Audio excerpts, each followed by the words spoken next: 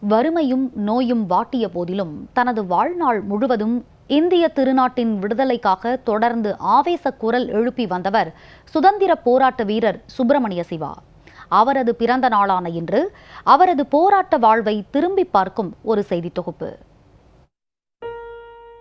விடுதலை போராட்ட வீரர் தியாக சீலர் என எல்லோராலும் போற்றப்படும் இந்திய திருநாட்டின் சுதந்திரத்திற்காக பாடுபட்ட தலைவர்களுள் ஒருவரான சுப்பிரமணிய சிவா மதுரை வத்தலக்குண்டில் ஆயிரத்து எண்ணூற்று எண்பத்து நான்காம் ஆண்டு அக்டோபர் மாதம் நான்காம் தேதி பிறந்தார். ராஜம் ஐயர் நாகலட்சுமி அம்மாளுக்கு மகனாக பிறந்த சுப்பிரமணிய சிவாவின் ஆரம்ப காலம் மிகவும் வறுமை நிறைந்தது. ஏழ்மை காரணமாக மதுரையிலிருந்து திருவனந்தபுரம் சென்ற அவர் அங்கு அன்னச்சத்திரங்களில் இலவச உணவு உண்டு. கோவை புனித மைக்கேல் கல்லூரியில் பட்டப்படிப்பு முடித்தார். ஆயிரத்து எண்ணூற்று தொன்னூற்று ஒன்பதாம் ஆண்டு மீனாட்சி அம்மையாரை திருமணம் செய்து கொண்டார். ஆயிரத்து தொள்ளாயிரத்து ஆறாம் ஆண்டு திருவனந்தபுரத்தில் ஆரிய சமாஜத்தைச் சேர்ந்த ஸ்ரீ நாகூர்கான் சொற்பொழிவினை கேட்டு விடுதலை போராட்டத்தில் தீவிரமாக ஈடுபட்டார். ஆயிரத்து தொள்ளாயிரத்து ஏழாம் ஆண்டு திருவனந்தபுரத்தில் தர்ம பரிபாலன சமாஜம் ஏற்படுத்தி இளைஞர்களை ஒன்று திரட்டி போராட்டத்தில் ஈடுபட்ட போது அங்கிருந்து வெளியேற்றப்பட்டு நாடு முழுவதும் சென்று பிரச்சாரம் செய்தார் சுப்பிரமணிய சிவா. தியாகி சுப்பிரமணிய சிவா அவர்கள் மிக சிறந்த சுதந்திர போராட்ட வீரராக விளங்கினார். இந்திய விடுதலை போரில் மிக தீவிரமாக பங்கு கொண்டவர். அவருடைய பெயரில் தருமபுரி மாவட்டம் பாப்பாரப்பட்டியில் ஒரு அரசு மேல்நிலைப் பள்ளியும் அன்னாருடைய நினைவு மண்டபமும் இங்கே உள்ளது. இங்கே படிக்கின்ற மாணவர்கள் தியாகி சுப்பிரமணிய சிவாவினுடைய கோட்பாட்டுக்கு இணங்க ஒழுக்கம் கட்டுப்பாடு போன்றவற்றில் மிக சிறந்தவராக விளங்குகின்றது என்பதை நான் இப்போது தெரிவித்துக் கொள்ள கடமைப்பட்டிருக்கிறேன்.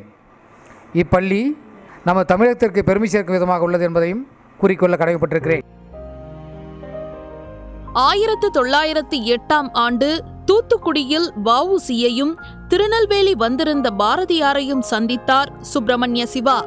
அதே ஆண்டு தூத்துக்குடி கோரல் மில் தொழிலாளர்களின் ஊதிய உயர்வு விடுமுறை வழங்கல் உள்ளிட்ட கோரிக்கைகளை வலியுறுத்தி வவுசியுடன் இணைந்து போராட்டம் நடத்தி வெற்றி கண்டார். இது ஆங்கிலேயர்களின் நெஞ்சில் அச்சத்தை ஏற்படுத்தியது. இதனைத் தொடர்ந்து பத்து ஆண்டு கடுங்காவல் மற்றும் நான்கு வருடம் நான்கு மாதம் சிறை தண்டனை அனுபவித்து விடுதலையாகி சென்னை வந்தார் சுப்பிரமணிய சிவா. சுதந்திர போராட்டத்தில் ஈடுபட்ட சுப்பிரமணிய சிவா ஆங்கிலேயர்களிடம் அடிபட்டு உதைப்பட்டு சிறையில் வாடினார். அவருக்கு தொழுநோய் ஏற்பட்டதால் சிறையில் இருந்து வெளியேற்றப்பட்டார். தனது இறுதி காலத்தில் தர்மபுரி மாவட்டம் பாப்பாரப்பட்டியில் பாரத மாதாவிற்கு தனியாக ஓர் ஆலயம் எழுப்ப திட்டமிட்டார். தனது நண்பர் சின்னமுத்து முதலியார் உதவியோடு சண்முக முதலியாருக்கு சொந்தமான சுமார் ஆறு ஏக்கர் நிலத்தை விலைக்கு வாங்கி அதற்கு பாரதபுரம் என பெயரிட்டார் சுப்பிரமணிய சிவா. பின்னர் அங்கு ஆயிரத்து தொள்ளாயிரத்து இருபத்து மூன்றாம் ஆண்டு தேசபந்து சித்தரஞ்சன் தாஸை கொண்டு பாரத மாதா கோயிலுக்கு அடிக்கல் நாட்டினார். இந்துக்கள் இஸ்லாமியர்கள் கிறிஸ்தவர்கள் என அனைத்து மதத்தினரும் ஏழை பணக்காரர் என்ற பாகுபாடு இன்றி சமத்துவமாக இந்த ஆலயத்தில் வழிபாடு நடத்த வேண்டும் என்பது சுப்பிரமணிய சிவாவின் விருப்பமாக இருந்தது. சுதந்திர போராட்ட வாழ்க்கையிலே தனக்கென ஒரு பெரிய இடத்தை பிடித்து உள்ளார்கள். பலமுறை சிறைவாசலில் சென்று சில நண்பர்களின் உதவியுடன் சுப்பிரமணிய சிவா அவர்களுடைய தர்மபுரி தருமபுரி மாவட்டம் பாப்பாரப்பட்டியிலே வந்து ஒரு ஆசிரமத்தை நிறுவி அந்த ஆசிரமத்திலே ஆசிரியர் ஒருவர் இருந்தார். அவருடைய தொடர்பினால் அவர் அங்கே நிலைநாட்டக்கூடிய நிலைமை ஏற்பட்டது. அங்கே ஒரு பெரிய பாரத மாதா கோயிலை கட்ட வேண்டும் என்று எண்ணினார்கள். சுப்பிரமணிய சிவா அவர்கள் அந்த கோயிலை கட்ட முடியாமல் போய்விட்டது. அவர் நோய்வாய்ப்பட்டு கடைசியிலேயே அவர் இறந்து விட்டார்கள் பிறகு அவருக்கு மணிமண்டபம் கட்டியிருக்கின்றார்கள். சுப்பிரமணிய சிவா மதுரை மாவட்ட வத்தலகுண்டிகளை பிறந்து இந்த நாட்டுக்காக உடல் பொருள் ஆவி அனைத்தையும் தத்தம் செய்து சுப்பிரமணிய பாரதி மற்றும் பாவூசி ஆகியோருடன் சிறையிலிருந்து வந்து அவருடைய எண்ணம் பாரத மாதா கோயில் கட்ட வேண்டும் என்கின்ற ஒரே எண்ணம்தான்.